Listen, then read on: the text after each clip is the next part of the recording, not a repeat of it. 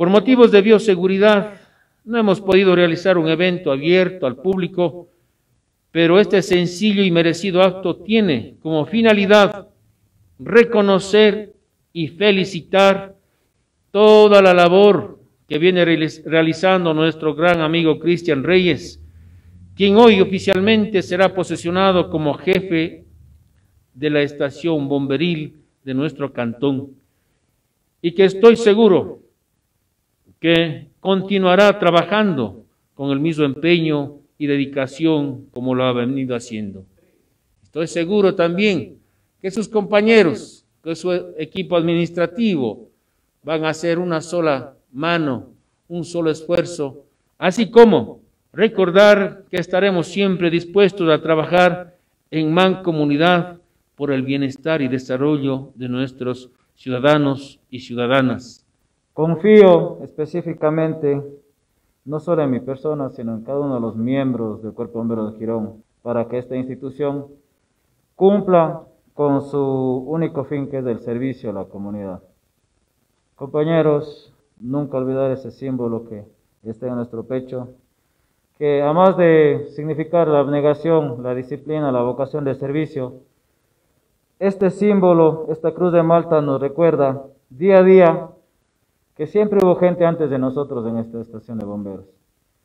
Siempre hay gente en el presente, como nosotros estos días, y siempre habrá gente en el futuro. En ninguna de estas instituciones de servicio, llámese cuerpo de bomberos, llámese GAD, llámese policía, llámese un ministerio de salud, nadie somos eternos. Y a medida que estamos en estos puestos de servicio, simple y sencillamente vamos a buscar la excelencia, vamos a buscar la profesionalización, vamos a buscar el día a día ser mejores y el día a día dar ese, lo mejor de nosotros en beneficio de Girón. Si antes estuve comprometido en el servicio la estación y por intermedio de mi estación, el servicio Girón, perdón, ahora mucho más, con mucha más responsabilidad, con mucho más compromiso, con la finalidad de dar lo mejor de nosotros y que Girón pues dentro de nuestras competencias, dentro de nuestra jurisdicción y, por qué no, también fuera de la misma. Cuando nos necesiten, pues, que Girón sepa que hay siempre ese brazo amigo, pero también hay que ser muy ciertos. Hay que trabajar en prevención. Que fuese lo mejor que nunca necesiten a los bomberos. Claro que hay un limitante, que es la parte presupuestaria. Hay que ser muy sinceros en ese punto. El equipo cuesta 10 mil, 15 mil, 30 mil dólares, 40 mil dólares. Capacitar a los bomberos, una igual cifra. Tener vehículos ah, listos para salir, una igual cantidad de dinero.